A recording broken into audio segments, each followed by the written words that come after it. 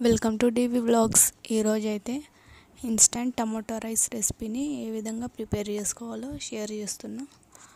ముందుగా మనకు tomatoes onions green chillies ఇంకా చెక్క లవంగాలు bay leaves star flower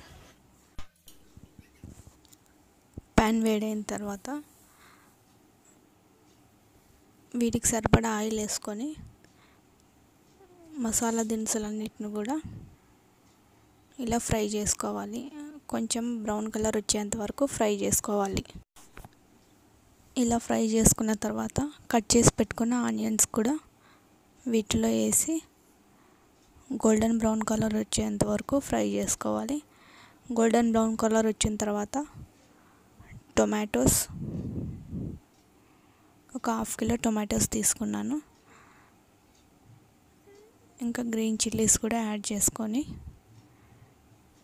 టేస్ట్కి సరిపడా సాల్ట్ వేసుకొని మీడియం ఫ్లేమ్లో పెట్టుకొని ఇది బాయిల్ చేసుకోవాలి. ఇది బాయిల్ అయ్యేంతలోపు పక్కన ఒక కడాయి తీసుకొని అందులో కొంచెం నెయ్యి యాడ్ చేసి అందులో జీడిపప్పు కూడా బాగా ఫ్రై చేసుకొని పక్కన పెట్టేసుకోవాలి.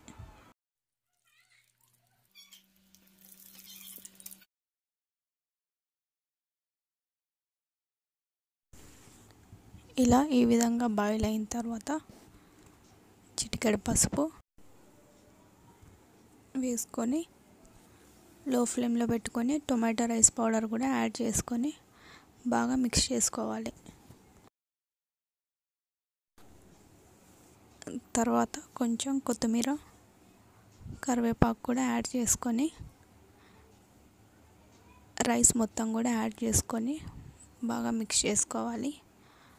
ఫైనల్గా కొంచెం నిమ్మరసం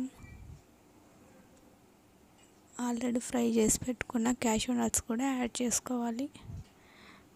ఎంతో టేస్టీ అయిన టొమాటో రైస్ రెసిపీ రెడీ. ఈ వీడియో కనుక నచ్చినట్టయితే లైక్ షేర్ సబ్స్క్రైబ్ చేయండి. Thank you for watching.